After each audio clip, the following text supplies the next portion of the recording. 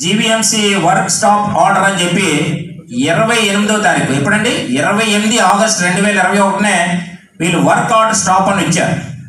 మరి work order stop అని ఇచ్చేటప్పుడు మరి ఇంకా ఎందుకు పని చేస్తూ ఉన్నారు అక్కడ? జేసీబీలు ఎందుకు ఉన్నాయి?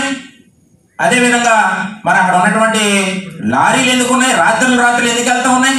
ఎవరు పని చేయిస్తూ ఉన్నారు మరి? తక్షణమే మేము డిమాండ్ చేస్తూ ఉన్నాం. ఆ రోజు మాజీ మంత్రి బండారు సత్యనారాయణమూర్తి గారు మాట్లాడి ప్రెస్ ప్రెస్లో మాట్లాడారు కాబట్టి ఈ రోజు మళ్ళీ ఇది ఆన్లైన్కి తీసుకొచ్చి వర్క్ ఆర్డర్ స్టాప్ అని ఇచ్చారని చెప్పి చెప్తా ఉన్నారు. ఏం మీరు కమిషనర్ గారు మీకు తెలియదా ఇది? ఏ విధంగా మీరు పర్మిషన్ ఇస్తారు? కలెక్టర్ గారు మీకు తెలియదా విశాఖ జిల్లా కలెక్టర్గా ఉండి మీరు ఏ ఏ ఎక్కడ ఏం జరుగుతున్నాయి ఏం జరుగుతున్నాయి మీకు తెలియదా ఈరోజు మేము డిమాండ్ చేసిన ఎవరైతే ఉన్నారో ఇమీడియట్లీగా వాళ్ళని అరెస్ట్ చేయండి. ఎందుకంటే ట్రస్పాట్ బోర్డులు పెట్టారు ఈరోజు అక్కడ ఎలా పెడతారు మీరు కోర్టులు ఎవడిచ్చాడు మీకు రైట్ కోర్టు మీకు ఏమైనా ఆర్డర్ ఇచ్చిందా? అసలు టైటిల్ డీడ్ ఎవరి పేరు మీద ఉంది?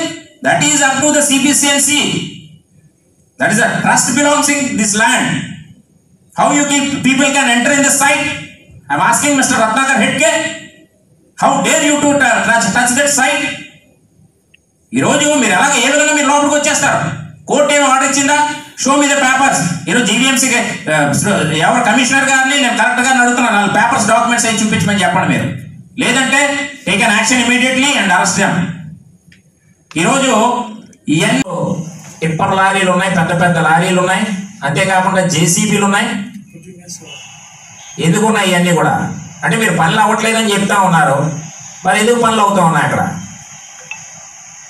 ఈ ప్రభుత్వం ఏంటి అంటే హైకోర్టునే లెక్క చేయలేనటువంటి ప్రభుత్వం.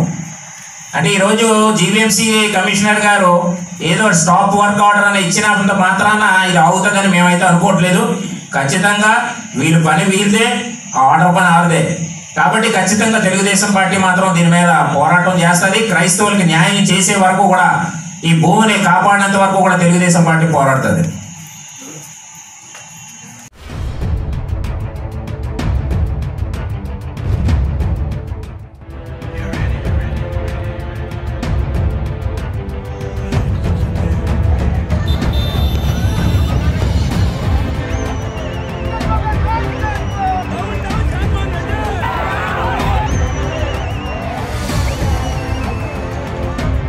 ఇది ఒక సిన్సియర్ నిజాయితీ పరుడైన వాట్సాప్ మా గౌరవ ముఖ్యమంత్రి ప్రపంచానికి కూడా చాలా